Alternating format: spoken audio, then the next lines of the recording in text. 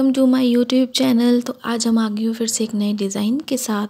और यहाँ पर देखिए, ये मैंने जो है ना फोर इंच पे डेढ़ सौ ग्राम से ये वाइट वाला केक पहले से बना लिया था। और यहाँ पर ये दो मैंने चॉकलेट स्पॉन्ज बना लिए थे। ये मैंने सेवन इंच मोल्ड पे दो बार सेम मोल्ड पे थ्री हंड्रेड ग्राम और थ्री हंड्रेड ग्राम से दो बार करके सेम मोल्ड पर मैंने बना लिया था। और इसे भी साइड करके रख दिया था ताकि ये बिल्कुल अच्छे से ठंडा हो जाए। और जैसे हम इसकी कटिंग करते हैं, बिल्कुल वैसे ही करेंगे। तो फ्रेंड्स आज वाला जो केक बनने वाला है ना, ये काफ़ी अच्छा होने वाला है, एकदम इनोवेटिव होने वाला है। तो वीडियो को बिना स्किप किए आप एंड तक देखें तो आपको जो है ना, बहुत अच्छा लगेगा। तो ये जो केक आज बनने वाला है, ये बिल्कुल दो फ्लेवर्स में केक जो है आज हम कवर करेंगे।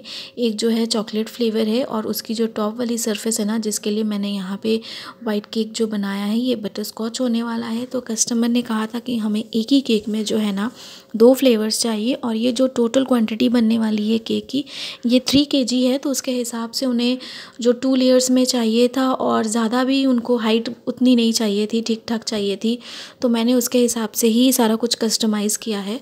तो कटिंग जैसे हम करते हैं, बिल्कुल वैसे ही करेंगे और आइसिंग भी जो है वो मैं आपको दिखाऊँगी जैसे हम करते हैं, बिल्कुल वैसे करेंगे।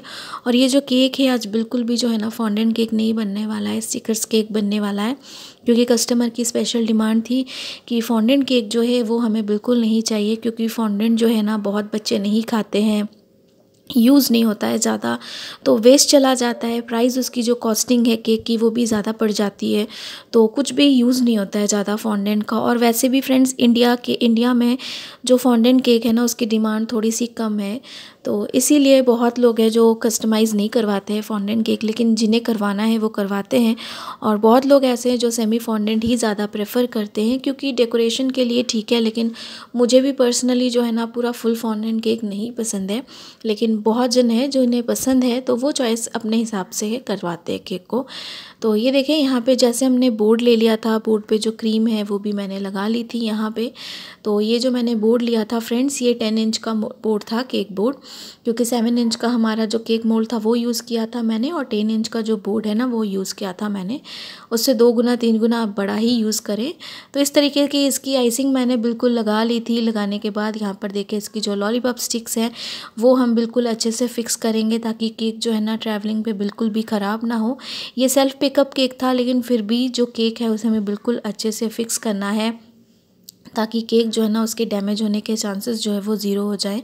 तो लेयरिंग जैसे हम करते हैं, बिल्कुल सिंपल मैंने क्रीम के साथ की थी, उन्हें और ज़्यादा चॉकलेटी केक नहीं चाहिए था तो इसमें मैंने कुछ भी एक्स्ट्रा चॉकलेट सॉस या फिर गनाश जो है वो यूज़ नहीं किया। सिंपल इसी तरीके से बनाया जैसे उन्होंने हमें कहा था। तो जो सारी लॉलीपॉप स्टिक्स है, इस तरीके से मैं फ़िक्स करूँगी। फ़िक्स करने के बाद जो है ना, यहाँ पर मैंने लाइट येलो कलर की जो क्रीम है ये बिल्कुल यूज़ करनी है और इसमें मैंने ज़्यादा नहीं, सिर्फ़ वन ड्रॉप जो है ना वो यूज़ किया है येलो फ़ूड कलर। आप कोई सा भी ब्रांड का ले सकते हो जो आपके यहाँ पे लोकल बेकरी शॉप से मिलता है या फिर ऑनलाइन आप कुछ भी किसी भी ब्रांड का ले सकते हो। तो हमेशा जो है ना आपको अगर ज़्यादा कम जो कलर है वो आपको अपने हिसाब से करना पड़ेगा, बाकी आप किसी भी ब्रांड का ले सकते हो। तो इसे भी जो है बिल्कुल अच्छे से हम कोट करेंगे इसकी एजेस को। और यहाँ पर ये जो मैंने स्क्रैपर लिया ना फ्रेंड्स बड़ा वाला, इसके साथ मैं आपको दिखाऊँगी स्लोली इस प्रोसेस को करके कि इसके साथ काम करना काफ़ी ईजी हो जाता है। इसे मैं जिस तरीके से बिल्कुल सॉफ्ट हाथों से पकड़ के इसे घुमा रही हूँ, बिल्कुल इसी तरीके से आपको करना है। आपको जो केक की एजेस है वो बिल्कुल क्लीन मिलेंगी और देखिए स्क्रैपर केक पे लगने के बाद भी ये बिल्कुल जो है ना इसकी हाइट काफ़ी ज़्यादा अच्छी हो गई है। उसके बावजूद भी देखिए, इसके हाफ़ वाले सेक्शन काफ़ी जगह है ताकि हमारा केक अगर थोड़ा और भी टॉल होता तो भी हम जो है ना सेम स्क्रैपर से हमें मदद हो जाती, बिल्कुल एजेस जो है उसकी क्लीन करने में। तो ये देखें ये टॉप सरफेस जो है, इसे भी बिल्कुल अच्छे से हम क्लीन करेंगे। और ठंड में बस यही फ़ायदा है कि केक जो है ना आपको बार बार फ्रिज नहीं करना पड़ता है, जो क्रीम है वो मेल्ट होने के चांसेस बहुत ज़्यादा कम होते हैं। तो इसीलिए ये चीज़ का बहुत फ़ायदा रहता है। तो अब जो केक है हमारा बिल्कुल फिनिश है और इसे ठंडा होने के लिए और हम फ्रिज में रख देंगे ताकि बिल्कुल कोर तक जो है ना क्रीम ठंडी हो जाए केक की। तो यहाँ पे ये जो छोटा वाला केक था जो हमें टॉप सरफेस पे रखना था ना तो उसे भी मैंने आइसिंग कर ली थी और ये साथ में मैंने माला जो कंपनी है, इसका बटर स्कॉच क्रश के लिया था। जैसे मैंने आपको बोला, उन्होंने दो कस्टमर जो थे ना, उन्होंने दो करवाने थे, एक ब्लैक फॉरेस्ट और एक ये बटर स्कॉच तो हम बिल्कुल जैसे लगाते हैं क्रश को, बिल्कुल वैसे ही लगाएँगे। तो ये देखें, यहाँ पे बिल्कुल मैंने उसी तरीके से स्प्रेड कर दिया और जो सेकंड लेयर है, उसे भी बिल्कुल रख देंगे इसी तरीके से। और मैंने ज़्यादा जो है ना फ्रेंड्स अभी केक को ज़्यादा फ्रिज नहीं किया था, बस थोड़ी देर के लिए रखा था, क्योंकि वेदर ऑलरेडी ठंडा था। तो इसीलिए और मेरे जो केक था, ये से भी मैंने सोख नहीं किया, क्योंकि केक जो था ना विंटर था केक तो भी बहुत ज़्यादा ही सॉफ्ट था, बिल्कुल ड्राई नहीं था तो मुझे ज़रूरत नहीं लगी। लेकिन अगर कभी विंटर्स में ऐसा लगे कि केक अगर आपका बहुत देर तक बाहर है बेक होने के बाद और वो ठंडा मतलब होने के बाद भी जो है ना, वो काफ़ी ड्राई हो गया तो फिर आप शुगर सिर्फ़ का इस्तेमाल करें। लेकिन मैं जब भी केक को बेक करती हूँ बेक करने के बाद जब उसे ओवन से निकालती हूँ ना तो मैं इमीडिएटली जो है ना, उसे बिल्कुल कपड़े के साथ, जो किचन टावल होता है, उसके साथ कवर कर देती हूँ ताकि मॉइस्चर उसका बना रहे और उसके नॉर्मल टेम्परेचर पर ही मैं उसे ठंडा होने देती हूँ। इसलिए केक जो है ना, बिल्कुल कोर तक एकदम सॉफ्ट रहता है और उसमें बाहर नहीं निकालती हूँ और हमेशा मैं फ़्रेश ही बेक करती हूँ। कभी भी ज़्यादा बेक करके उसे नहीं रखती हूँ ज़्यादा दिन के लिए। तो आप रख सकते हो, कोई दिक्कत नहीं है फ्रिज में, लेकिन मैं पर्सनली नहीं रखती हूँ। तो देखिए केक को हमने फ्रिज से निकाल दिया है और जो टॉप सरफेस वाली थी जिसकी लेयर उसे हम केक पे बिल्कुल अच्छे से शिफ्ट कर देंगे और इसे बड़ी वाली जो स्पैचुला नाइफ़ है ना, उसके साथ मैंने उठाया था। और बिल्कुल सेंटर पे हमें देख लेना है कि ये बिल्कुल सेंटर पे है, हमें कहाँ रखना है। तो ये बिल्कुल चीज़ आप ध्यान पे रखें और ये छोटा वाला जो स्पैचुला है ना, इस तरीके से देखें, इसे मैंने बिल्कुल आसानी से जो है ना शिफ्ट कर देना है केक के ऊपर। तो ये काम को काफ़ी थोड़ा आप ध्यान से करें, जो नए हैं बिगनर्स हैं केक पे। बाकी अगर आप एक बार करेंगे पेशेंट्स रख के थोड़ा आराम से तो डेफ़िनेटली हो जाएगा। तो सेंटर पे भी जो देखें, एक बार मैंने टूथपिक जो है ना, वो लगा देनी है। अगर वुडन टावल बड़ा वाला है, आपके पास तो भी लगा सकते हो। यहाँ पे मैंने थोड़ा सा जो है ना टूथपिक के साथ इसे थोड़ा दूसरे साइड पे मैंने पुश कर दिया ताकि ये थोड़ी सी और डाउन हो जाए। और इसे जो है हम टर्न टेबल पे बिल्कुल शिफ्ट कर देंगे। तो शिफ्ट करके यहाँ पे हम रख देंगे ताकि बाकी की डेकोरेशन कर सके। तो देखिए एजेस बिल्कुल क्लीन है और परफेक्ट एकदम ये शिफ्ट हो गया है। और यहाँ पर देखिए ये मैंने जो ग्लिटर पेपर था ना फ्रेंड्स ये वाला, ये मैंने लिया ये ग्लिटर पेपर काफ़ी अच्छा है। इसके कुछ भी ग्लिटर जो है ना वो गिरते नहीं हैं। बहुत ही ज़्यादा अच्छा है। तो इसलिए मैं ये यूज़ कर रही हूँ और यहाँ पर जो है हम केक पे बनाने के लिए क्राउन बनाएँगे। तो उसके लिए हम पहले पेन से जो है ना एक फ़िगर बना लेते कि हमें कैसा चाहिए। तो यहाँ पे मैं बस उसके हिसाब से बना रही हूँ क्योंकि मुझे बहुत ज़्यादा बड़ा जो है क्राउन नहीं बनाना है, बस छोटा ही बनाना है। और कस्टमर ने हमें पिक्चर जो दी थी प्रिंसेस केक थीम पे वो काफ़ी ज़्यादा जो थी ना फॉन्डेंट में थी। लेकिन उन्हें वैसे ही स्टिकर्स चाहिए थे, लेकिन उन्हें चाहिए था कि सेमी फॉन्डेंट भी ना हो, लेकिन मतलब स्टिकर्स के साथ हो जाए, क्योंकि डेकोरेशन जो है ना जैसा मैंने आपको बोला कि ज़्यादा उन्हें नहीं चाहिए थी कि फॉन्डेंट वेस्ट हो जाएगा। इसलिए उन्होंने कहा कि स्टिकर्स जो है बाद में यूज़ भी कर लेंगे बच्चे, लेकिन अभी जो है ना, हमें बिल्कुल भी फॉन्डेंट केक नहीं चाहिए। तो उसके हिसाब से जो था, मैं चीज़ों को बना रही थी और मैंने पहले ही जैसे आपको बोलती हूँ कि मैं क्लियर कर लेती हूँ अपने कस्टमर के साथ कि जो केक की फ़ोटो आपने दिखाई है उसमें उन्नीस बीस का फ़र्क तो आना ही है, क्योंकि वो जो जितने भी वो मुझे पिक्चर्स दिखाते ना, सारे पिंटरेस्ट से होते तो उसमें ऑलमोस्ट जितने भी पिक्चर्स हैं वो आउट ऑफ़ इंडिया के होते हैं कलेक्ट किए हुए। तो इसीलिए थोड़े प्रॉब्लम हो जाती है उन्नीस बीस फ़र्क का, लेकिन जो भी केक बनता है वो मेरा भी खुद का एक सिग्नेचर केक हो जाता है। तो इस तरीके से मैं चीज़ों को क्लियर कर लेती हूँ कस्टमर के साथ, क्योंकि बाद में कुछ कस्टमर्स ऐसे होते हैं जो नहीं समझते, जो आपको कॉपरेट नहीं करते हैं तो फिर प्रॉब्लम हो जाती है। तो ये देखें, यहाँ पर जो है, मैंने कुछ स्टिकर्स इस तरीके से लिए थे, लेकिन इसकी जो स्टिक है, वो निकाल दूँगी मैं, और यहाँ पर भी मेरे पास कुछ स्टिकर्स हैं। और उस तरीके से जैसे मैंने आपको दिखाया कि जो क्राउन था, वो मैंने बना के साइड कर लिया था स्टेपलर लगा के, जैसा मैंने आपको एक बार और जो था ना प्रिंस वाला थीम पे आपको भी दिखाया था कि किस तरीके से मैंने जो है ना क्राउन बनाया था। तो बिल्कुल वैसे ही बनाया और यहाँ पे ये जो स्टिकर्स है, जो मुझे चाहिए थे, वो सारे मैं सिलेक्ट कर लूँगी। मुझे जो जो लगेगा कि मुझे यूज़ करने चाहिए, वो मैं यूज़ कर लूँगी और बाकी जो है ना वो मैं साइड करके रख दूँगी केक के हिसाब से मैं चीज़ों को देख लूँगी। तो ये देखें, यहाँ पर जो स्टिकर्स थे ये मैंने पहले, सबसे पहले आपको केक की जो परफेक्ट पोर्शन है, जो राइट साइड जो आपको सामने फ्रंट पे रखना है ना, आप बिल्कुल वो सिलेक्ट कर लें। तो ये देखिए, जैसे मैंने आपको कहा कि स्टिकर्स की जो स्टिक थी वुडन स्टिक्स वो मैं हटा दूँगी, क्योंकि मुझे स्टिकर्स को बिल्कुल ऐसे ही लगाना है जैसे पिक्चर में था। तो उसके हिसाब से थोड़ा बहुत मुझे चेंज करना है, क्योंकि पिक्चर में जो केक थी ना, उसकी हाइट काफ़ी ज़्यादा थी। वो थ्री लेयर्स में केक था और वो फाइव टू सिक्स के का केक था। तो यहाँ पर थ्री के का केक है और उन्हें ज़्यादा हाइटेड भी नहीं चाहिए था। तो इस तरीके से देखिए, मैं स्टिकर्स को फिक्स करूँगी। और फ्रेंड्स ये वाले जो स्टिकर्स हैं ना ये भी मैंने लोकल जो बेकरी शॉप है, वहाँ से मैंने बाई किया। आपको ऑनलाइन अमेज़ोन से भी मिल जाएँगे बिल्कुल। और अगर आप किसी भी लोकल बेकरी शॉप जो आपके घर के पास है, जहाँ आप रहते हो, वहाँ से भी जो है ना मार्केट से आप इसे ख़रीद सकते हो। तो ये काफ़ी अच्छी क्वालिटी के थे। तो मैंने यहाँ पे एडिबल नहीं यूज़ किए, क्योंकि ना एडिबल के साथ जो है आपको वो लुक नहीं आती है, जो इस तरीके के जो ग्लॉसी स्टिकर्स होते हैं ना, उनके साथ आती है। और ये बिल्कुल सेफ़ होते हैं। ऐसा नहीं है कि बिल्कुल भी फ़ूड सेफ़ नहीं है, ऐसी कोई दिक्कत नहीं है। आप इस इसको बिल्कुल आराम से केक पे लगा के अपने कस्टमर को जो है ना दे सकते हो। तो इस तरीके से मैं यहाँ पे मैंने तीन तो लगा लिए थे, एक और था मेरे पास, उसे भी मैं देख के एडजस्ट करूँगी कि मुझे कहाँ पे लगाने चाहिए। तो यहाँ पे एक ये कैस्टल हाउस था बना हुआ। तो इसे भी जो है ना हम बिल्कुल सेकंड वाले पोर्शन पे इसे भी फिक्स करेंगे।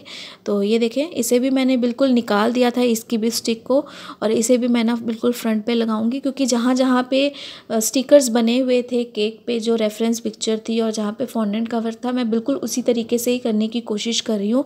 क्योंकि डिज़ाइन तो डेफ़िनेटली ऑलरेडी चेंज होगा पूरा। लेकिन फिर भी जहाँ पे केक वैसा वहाँ पर था, बिल्कुल वैसा ही बनाने की कोशिश करूँगी। तो यहाँ पे मेरे पास कुछ छोटे भी थे, जैसे मैंने यहाँ पे बड़े लिए तो ये वाले जो छोटे थे मेरे पास, इसे भी मैं सेम तरीके से लगा दूँगी।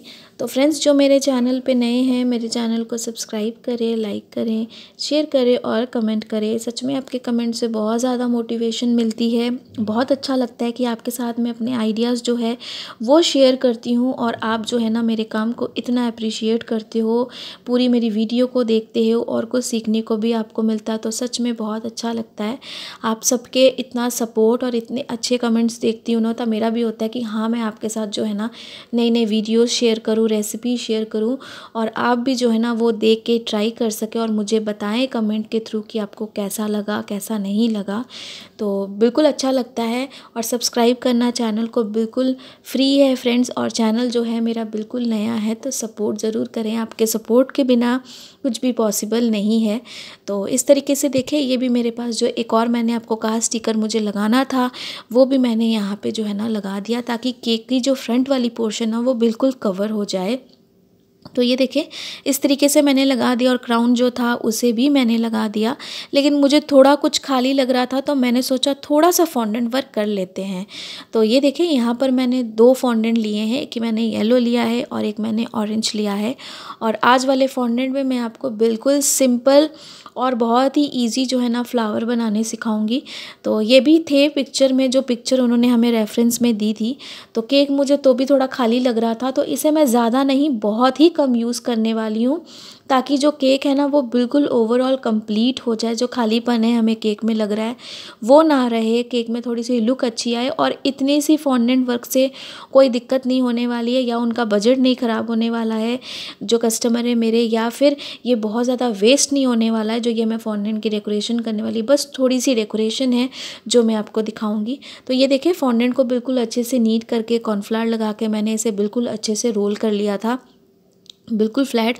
और यहाँ पर ये मेरे पास डिटेलिंग नाइफ़ थी, जिसके साथ इसके जो मैं ना लंबे वाले स्ट्राइप्स करके कट कर दूँगी। ज़्यादा नहीं, सिर्फ़ मैं एक ही इसकी कट करके आपको जो है ना फ्लावर बनाने का तरीका बता दूँगी, ताकि जो है ना बाकी के भी फ्लावर्स जो है हम सेम तरीके से बनाएँ। जैसे मैंने ये ऑरेंज वाला बनाना है सेम वैसे ही मैं येलो कलर के साथ काफ़ी सारे बना लूँ। तो ये देखें साइड की जो इसकी इजेस थी, इसे भी बिल्कुल हमने अच्छे से कट कर लिया, ताकि जो है ना बिल्कुल इक्वल रहे हमारा फॉन्डेंट ये जो हमने कट किया है स्ट्राइप्स में। और इसे बीच से हम थोड़ा सा कट कर लेंगे, क्योंकि ये काफ़ी बड़ा था तो मुझे एक रोल पूरा कंप्लीट नहीं चाहिए था, दो सेक्शंस में चाहिए था। तो ये देखें, काफ़ी सिंपल है, इसे बस हम बिल्कुल फ़ोल्ड करेंगे, उसके अलावा कुछ नहीं करना है हमें। तो देखिए, इस तरीके से मैंने इसे फ़ोल्ड कर लिया। फ़ोल्ड करने के बाद, ये देखें, इस तरीके से जो ना, हम इसे थोड़ा सा ओपन कर देंगे। और देखिए, ये रोल जो है, काफ़ी बड़ा है अभी भी तो इसे हम बीच से मिडल से कट कर देंगे। तो इसके जो है ना, जैसे मैंने आपको रोज़ बताए थे बनाने, बिल्कुल वैसे ही जो है ना, ये बने हैं। तो इसके भी दो सेक्शन हमने कर लिए तो दो फ्लावर बन गए हमारे इसमें से।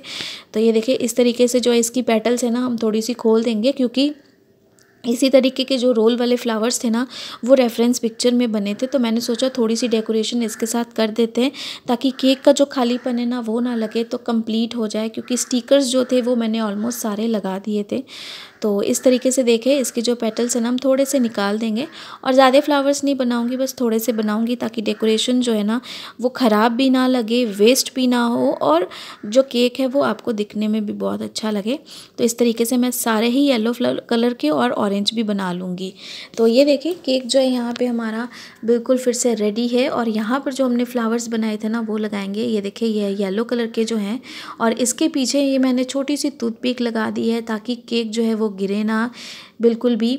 और आप सब मुझे कहते हैं कि, मैम, ये जो फ्लावर्स मैं बनाती हूँ, ये गिरते क्यों नहीं है? केक से गिर सकते, ऐसा नहीं है। जैसे मैंने यहाँ पे फिक्स किया, आप ऐसे भी कर सकते हो और बिना टूथपिक के भी अगर आप लगा के फिक्स करोगे तो भी जो है ना डेफिनेटली जो फ्लावर्स है वो बिल्कुल भी नहीं गिरेंगे। बस आप जब उसे लगाते हो, बिल्कुल अच्छे से फिक्स करें। तो इस तरीके से देखें, मैंने यहाँ पे सिर्फ़ येलो एंड ऑरेंज का ही यूज़ किया है, ताकि जो क्रीम है मेरी, वो बिल्कुल लाइट येलो कलर की है। उसके साथ ये कॉम्बिनेशन बहुत अच्छा लगेगा और थोड़ा कलरफुल लगेगा इसलिए मैंने रेड और कोई कलर यूज़ नहीं किया है। जो थीम है केक की, उसके हिसाब से ही मैंने यूज़ किया है। और यहाँ पर जो बर्थडे गर्ल थी, ये मैंने फ्रंट पे सोचा उसका नाम लिख दूँ, ताकि थोड़ा हाईलाइट भी हो और जो फ्रंट वाली पोर्शन है, ये थोड़ी खाली थी तो ये भी जो है ना बिल्कुल कवर हो जाए। और यहाँ पर मैं कोई भी स्प्रिंकल्स जो है फ्रेंड्स वो यूज़ नहीं करने वाली हूँ। सिंपल जो है ना सोबर केक हम आज बनाएँगे। तो यहाँ पर जो है, मैंने यहाँ पे बिल्कुल एक और फ्लावर जो है, वो लगा देना है। तो ये देखिए, इस तरीके से मैंने यहाँ पे एक लगा दिया और जो टॉप वाली सरफेस है ना, वहाँ पे भी हम एक दो लगाएँगे, बाकी हम स्पेस छोड़ देंगे कैंडल के लिए एंड बर्थडे टैग के लिए, ताकि फ्रंट पे इतनी जगह रहे कि वहाँ पे ये दोनों चीज़ें जो है ना, दोनों साइड पे लग जाएँ। तो यहाँ पर भी मैंने एक येलो फ्लावर लगा दिया था। बिल्कुल उससे ज़्यादा नहीं लगाऊँगी यहाँ के साइड पे और जो टॉप सरफेस है, वहाँ पे हम लगाएँगे फ्लावर्स तो मैं साथ ही साथ जो टूथपिक है, उसे छोटे छोटे मैंने पीसेस में कट कर लिया था पहले ही और कट करके इस तरीके से मैंने देखे, इसे भी वहाँ पे लगा दिया। तो इस तरीके से जो है ना इतना ही करने से मुझे समझ में आ गया था कि अच्छा हुआ मैंने थोड़ी सी फॉन्डेंट डेकोरेशन कर दी, क्योंकि इसी से जो था ना, केक का खालीपन जो था, वो बिल्कुल कवर हो गया। और जो डेकोरेशन थी फॉन्डेंट की, वो बहुत ज़्यादा नहीं थी, कम थी। इतनी सी तो चलो बनती है क्योंकि केक थोड़ा हमें और ज़्यादा प्रेजेंटेबल बनाना है। तो यहाँ पर उसी तरीके से मैंने थोड़ा सोचा और यहाँ पर मैंने जो फ्लावर्स थे ना वो लगाने शुरू कर दिए। तो टूथपिक के साथ ही मैंने लगाए थे ताकि जब केक कट हो या फिर जब कस्टमर को अगर निकालना हो तो ईज़िली जो है ना वो निकल भी जाए। तो यहाँ पर एक दो फ्लावर्स जो थे मैंने थोड़े से और लगा दिए। ये देखिए ये एक फ्लावर बच गया था, इसे भी मैं सेकेंड वाली लेयर पर ही फिक्स कर दूँगी। एक बार देख के कि कहाँ पर बिल्कुल फिट होता है। तो ये मुझे सेकेंड वाली लेयर के दूसरे साइड पर ही फिट लग रहा था। तो यहाँ पर ही मैंने तीन चार फ्लावर्स जो थे ना एक साथ ही लगा दिए। तो ये देखें, ये बिल्कुल बन के जो था ना कंप्लीट था।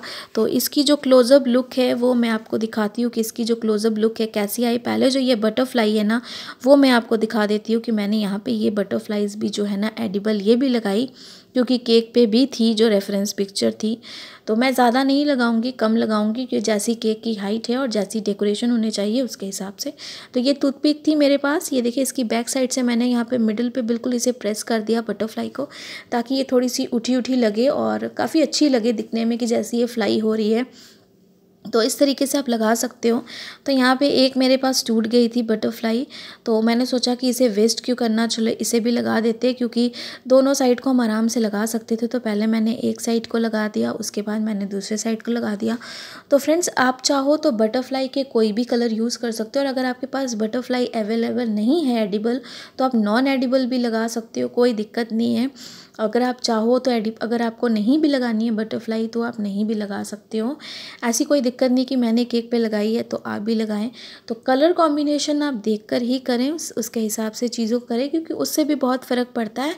आपका जो केक है ना, वो दिखने में काफ़ी ज़्यादा अच्छा लगता है। अगर आपने कलर कॉम्बिनेशन को भी बहुत अच्छे से मेनटेन किया है तो। और ये जो स्क्रैपर मैंने आपको दिखाया था केक पे। इसकी लिंक मैंने कल वाली वीडियो पे भी शेयर की थी, आप वहाँ से भी देख सकते हो, बिल्कुल। तो वहाँ से भी आप इसे बाई कर सकते हो। तो देखिए, एक साइड पे यहाँ पे मैंने बटर बड़ी वाली बटरफ्लाई लगा दी। तो इसे भी हम मिडिल पे बाद में प्रेस कर देंगे और यहाँ पर दूसरे साइड पे भी मैंने यहाँ पे लगा दी। तो ये जो केक है हमारा, के बन के बिल्कुल ही रेडी है। तो यहाँ पे मैं और कुछ नहीं लगाने वाली, कुछ भी स्प्रिंकल्स जो है मैं वो नहीं डालने वाली। सिंपल जो केक था हमारा, सोबर, वो बन गया। साथ में बर्थडे टैग और जो कैंडल थी बर्थडे ईयर की, वो भी मैं दे दूँगी।